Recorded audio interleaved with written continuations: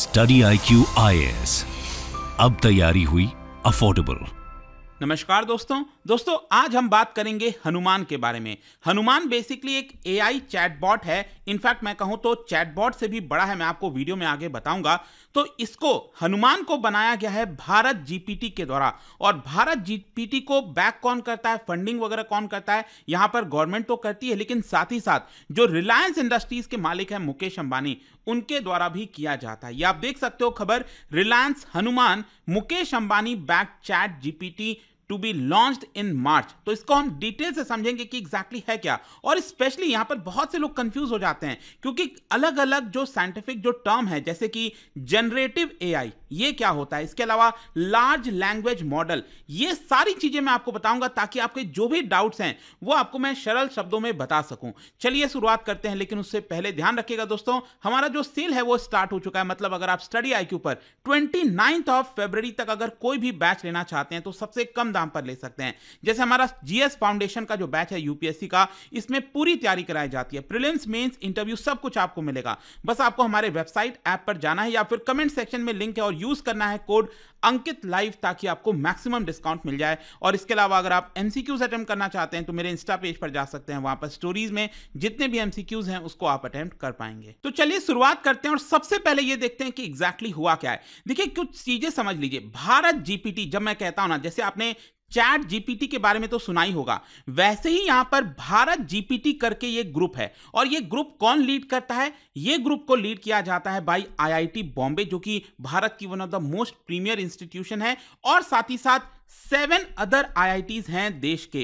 तो आईआईटी बॉम्बे और आईआईटीज बाकी के जो आईआईटीज हैं, वो मिलकर भारत जीपीटी को लीड कर रहे हैं। और भारत जीपीटी को बैक कौन कर रहा है? देखो तो जो सरकार की डिपार्टमेंट है department of science and technology वो तो बैक कर ही रही है, लेकिन साथ ही साथ जो रिलायंस इंडस्ट्रीज़ हैं, जिसके मालिक है मुकेश अंबानी, वो भी इसको बैक कर रहे हैं। मतलब कहीं ना कहीं फंडिंग वगैरह यहाँ पर वो दे रहे होंगे। तो बताया ये गया है कि ये जो ग्रुप है, भारत जीपीटी इन्होंने अनाउंस किया है कि वो पहला चैट जीपीटी लाइक सर्विस अगले महीने लॉन्च करने वाले हैं। जैसे चैट जीपीटी में यूजुअली क्या होता है? आप कोई क्वेश्चन वगैरह पुट करते हो, जो भी आपको आंसर चाहिए, कोई इंफॉर्मेशन चाहिए, आप वो पुट करते हैं, लिखते हैं उसमें और उसी प्रकार से आपको आंसर मिल जाता है। लेकिन उसका इंडिया वर्जन जो कि भारत के द्वारा बिल्ड किया गया हो, भारत के नीड के हिसाब से हो, ऐसा वर्जन चैट जीपीटी जैसा कुछ चीज़ जो है, वो भारत में अगले महीने मार्च में लॉन्च किया जाएगा। और इसका नाम क्या होगा? ये होगा हनुमान। इसका जो नाम रखा गया है ना, वो है आपका हनुमान और ये बेसिकली इंडियन लैंग्वेज मॉडल पर बेस्ड होगा। और ये जो हनुमान बनाया गया है, वो भारत जीपीटी ने S M L that is Sita Mahalakshmi health care के साथ मिलकर बनाया है। अब ये ध्यान में रखिएगा, सीता महालक्ष्मी हेल्थ केयर के साथ मिलकर बनाया है, वो मैं आपको आगे बताऊँगा कि इसका रोल क्या है। क्योंकि क्या है ना कि ये जो इन्होंने बनाया है, उसमें वो अलग अलग फ़ील्ड में इस्तेमाल किया जा सकता है। जैसे हेल्थ केयर हो गया ऑटोमोबाइल इंडस्ट्री हो गया, बहुत सारे फ़ील्ड में इसका इस्तेमाल किया जा सकता है। लेकिन ये सारी चीज़ों को समझने के लिए कि हनुमान है क्या, ये वर्क क्या करेगा, उसके पहले कुछ चीज़ें आपको जानना ज़रूरी है। कुछ टर्म्स होते हैं, जैसे कि जनरेटिव एआई जनरेटिव एआई का मतलब क्या है? देखो थोड़ा सा स्क्रैच से समझते हैं। जैसे क्या है ना कि जब से चैट जीपीटी लॉन्च हुआ है आपने देखा होगा हर कोई आजकल आर्टिफिशियल इंटेलिजेंस के बारे में बातचीत करने लग गया है। आप कहीं पर भी देख लो पा, पान नुक्कड़ की दुकान से भी लेकर अलग अलग जगह पर आप देखोगे तो लोग आजकल एआई करके कुछ बोलने लगे भले ज़रूरी नहीं है कि सबको समझ में आता हो, लेकिन लोग कहने लग गए हैं कि कुछ आर्टिफिशियल इंटेलिजेंस जैसी चीज़ें आ रही हैं। हर जगह इसका कन्वर्जेशन होने लग गया है। लेकिन यहाँ पर क्या है ना कि जब कंप्यूटर इन्वेंट हुआ था, आपको याद होगा तो कंप्यूटर जस्ट एक मशीन की तरह था। मतलब एक ऐसा मशीन था, जब हम उसके अंदर कोई इंस्ट्रक्शन देते थे, उस हिसाब से हमें वो जवाब मिलता था, वो हमें आउटपुट मिलता था। लेकिन आज के डेट में कंप्यूटर्स काफ़ी डिफरेंट हो गए आपने देखा ही होगा पिछले 20-30 सालों में जिस तरह से चेंज आया है, जो कंप्यूटर उसमें बहुत सारी एबिलिटी आ गई हैं। उसके पास क्षमता आ गई है सीखने की लर्न करने की, सोचने की थिंक करने की और आपके साथ कन्वर्जेशन करने की। मैं आपको बहुत छोटा एक एग्ज़ाम्पल बताता हूँ। आपने एलेक्सा तो सुना ही होगा आजकल राइट तो एलेक्सा क्या जब आप पूछते हो ना hello Alexa how are you तो वो आपसे कॉन्वर्जेशन करता है आप, आपको रिप्लाई करता है। तो आजकल जो मशीन्स हैं वो काफ़ी इंटेलिजेंट होती जा रही हैं। और सिर्फ़ यही नहीं आज के डेट में अगर आप कंप्यूटर्स देखोगे तो वो कई सारे क्रिएटिव और इंटेलेक्चुअल टास्क करने लग गए हैं। मतलब कि जो चीज़ें सिर्फ़ ह्यूमंस तक ही लिमिटेड थी जो हम सोचते थे कि वो तो चीज़ें सिर्फ़ ह्यूमंस ही कर सकते हैं और कोई नहीं कर सकता वो भी आज के डेट में कहीं ना कहीं कंप्यूटर्स करने लग गए हैं।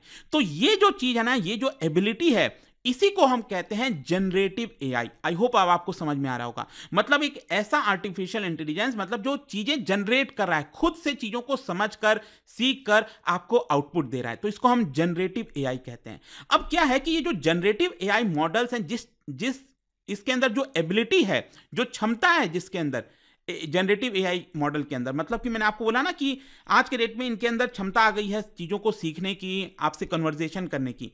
तो वो जो एबिलिटी है, वो कहाँ से आई है? वो कहीं ना कहीं जोड़ा जाता है इसको एल के साथ that is large language model ठीक है? अब मैं आपको आगे बताऊँगा यहाँ पर डिटेल से लार्ज लैंग्वेज मॉडल क्या होता है, लेकिन इसके पहले एक और चीज़ आपको बता दूँ कि not all generative A I tools are built on LLM ध्यान रखिएगा कि जितने भी जनरेटिव एआई टूल्स होते हैं ना, मैंने आपको अभी बताया जनरेटिव एआई क्या होता है?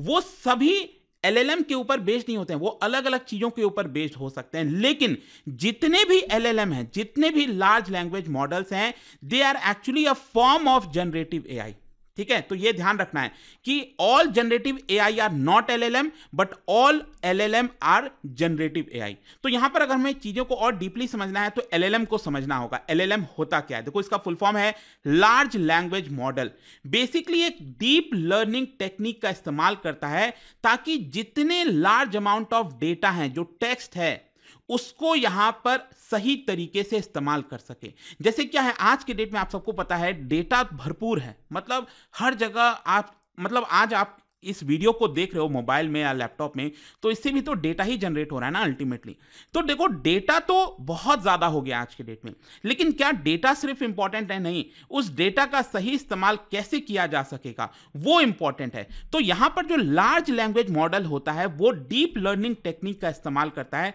ताकि जो इतने अमाउंट ऑफ़ टेक्स्ट हैं डेटा हैं, उसको प्रोसेस कर सके। So they work by processing vast amount of text understanding the structure and meaning and learning from it तो जितने डेटा हैं, जैसे आज के डेट में आप कुछ भी सर्च करो, किसी भी चीज़ के बारे में जाना हो आपको तुरंत विकीपीडिया का पेज खुल जाएगा। तो विकीपीडिया में आज के डेट में आप देखो तो huge amount of data collect हो गया है। लेकिन उस डेटा का सही इस्तेमाल कैसे किया जाए, वो लार्ज लर्निंग जो मॉडल्स हैं, वो कर रहे हैं। मतलब वो डेटा को अपने अंदर फ़ीड करते हैं वो उस डेटा से कुछ नई चीज़ें निकालने की कोशिश करते हैं। मतलब कि अगर आप कोई क्वेश्चन पूछो तो उतने सारे डेटा में आपको एग्जैक्ट क्या आंसर मिले, वो यहाँ पर आपको प्रोवाइड करने की कोशिश की जाती है। तो L L M are trained to identify meanings and relationship between words मैं आपको अगेन एक बहुत ही छोटा उदाहरण बताता हूँ, ताकि आपको ये समझ में आ जाए। जैसे कि मान लो, अगर मैं कोई एक मॉडल है, जिसके अंदर लैंग्वेज मॉडल है, जिसमें मैंने दो वर्ड को फ़ीड कर दिया, अगर मैंने कहा उसको सन एंड uh, या फिर ऐसे ले लो फादर ठीक है एंड डॉटर ठीक है। ये मैंने क्या किया? ये बस दो शब्द को डाल दिया इस लैंग्वेज मॉडल के अंदर। लेकिन जो ये क्या करेगा ना ये बेसिकली उन उनके रिलेशनशिप को भी समझ जाएगा। मतलब जो रिलेशन अब मान लो फादर और डॉटर के बीच में होगा क्या वो किसी स्ट्रेंजर के साथ हो सकता है? नहीं हो सकता है।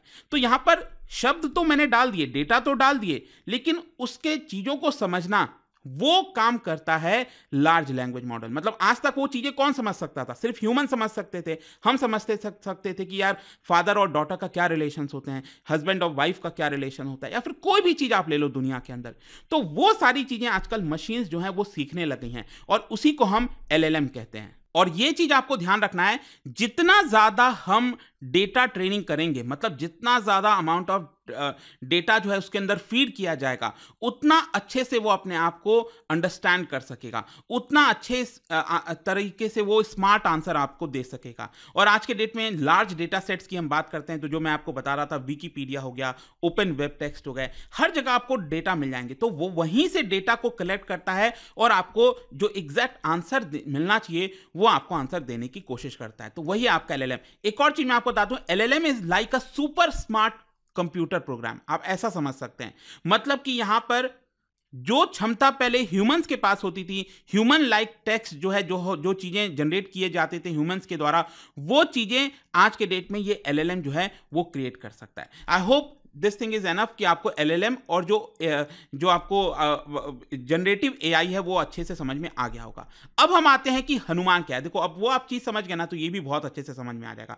Hanuman is a series of large language model ठीक है? अब समझ में आया? हनुमान भी एक तरह का लार्ज लैंग्वेज मॉडल का ही सीरीज़ है, जो कि 11 इंडियन लैंग्वेजेस में, चाहे वो हिंदी है, तमिल है, मराठी है, और इनका प्लान है कि इसको फर्दर एक्सपैंड करके 20 से ज़्यादा लैंग्वेज में लाया जाए।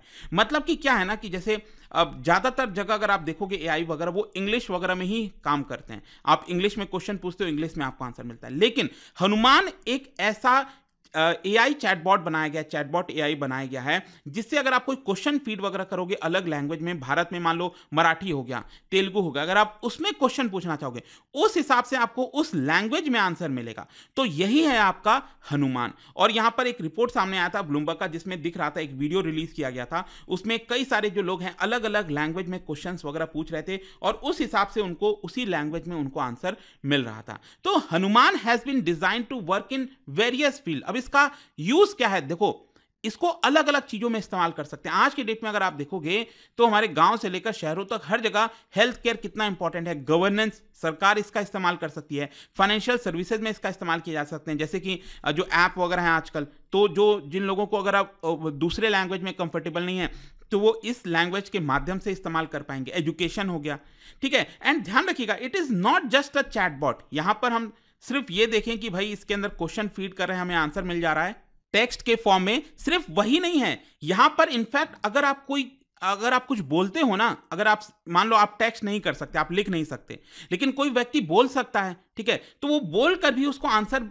उसी साउंड में मिल जाएगा। फिर इसके अलावा वीडियोस हो गया। अगर आप कोई उसमें इमेज वगैरह डालते हो वीडियोस डालते हो तो उसको भी वो प्रोसेस करके आपको कुछ डिफरेंट चीज़ें ला सकता है। आई होप आप समझ पा रहे होगे। सिर्फ़ ये चैटबॉट नहीं है, ये काफ़ी बड़ा मल्टी मॉडल ए टूल है एक तरह से। And one of the first customize यहाँ पर जैसे आपको याद होगा, मैंने अभी आपको स्टार्टिंग में बताया था regarding S M L that is Bharat GPT ने सीता महालक्ष्मी हेल्थ केयर के साथ मिलकर ये जो हनुमान है, इसको डेवलप किया है।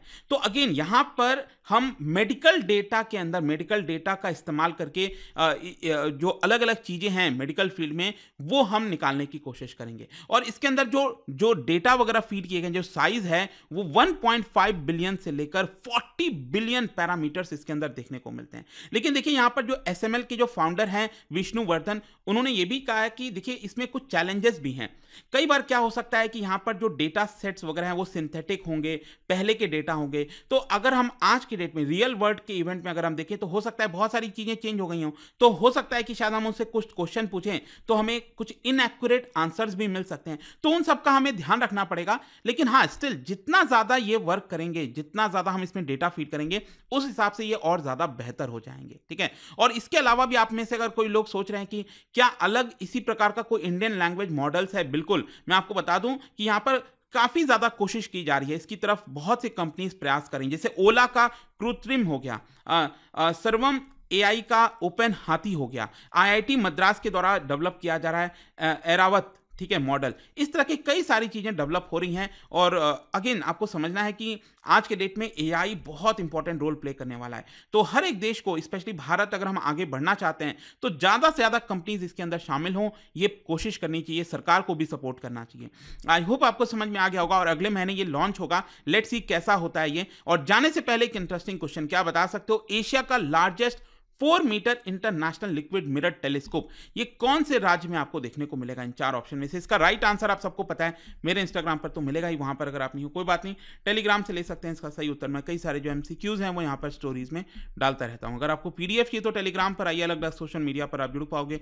और जैसा मैंने आपको बताया, अगर आप यूपीएससी की तैयारी कर रहे हैं, कोई भी बैच चाहते हैं you can just use this code Ankit live ताकि आपको मैक्सिमम डिस्काउंट मिल जाए। आई होप कि वीडियो आपको पसंद आया होगा। मिलता हूँ आपसे next time till then thank you very much see you soon study I Q I S अब तैयारी हुई अफोर्डेबल